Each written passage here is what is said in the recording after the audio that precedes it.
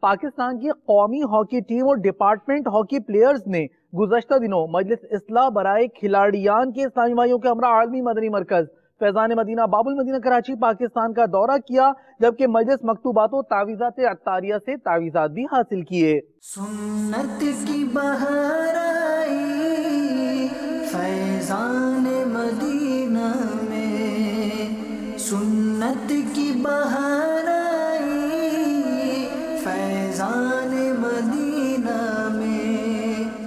رحمت کی گھٹا چھائی فیضان مدینہ میں رحمت کی گھٹا چھائی فیضان مدینہ میں لمحات مسرت ہے دیوان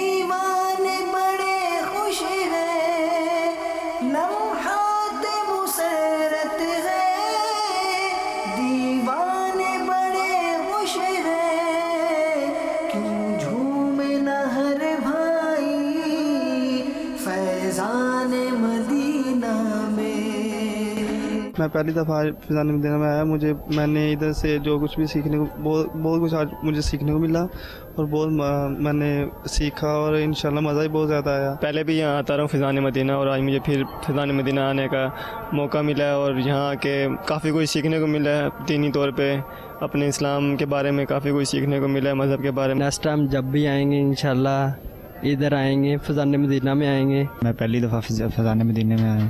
مجھے بہت اچھا لگ رہا ہے ادھر آ کے۔ نیکسٹ ٹائم بھی آئیں گے انشاءاللہ اور ادھر ضرور چکر لگائیں گے۔